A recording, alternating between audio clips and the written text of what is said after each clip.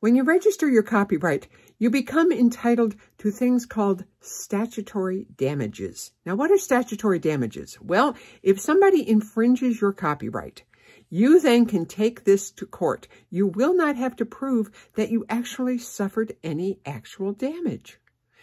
You can take it to court and say, Your Honor, here's my copyright certificate, and here's the, the substantially similar copy, and I would like statutory damages, please.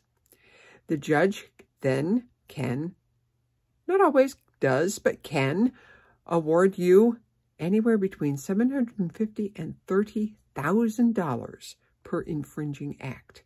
And if you can show that the, the infringement was willful, you treble that, plus you add on attorney's fees and court costs. It's well worth registering your copyright.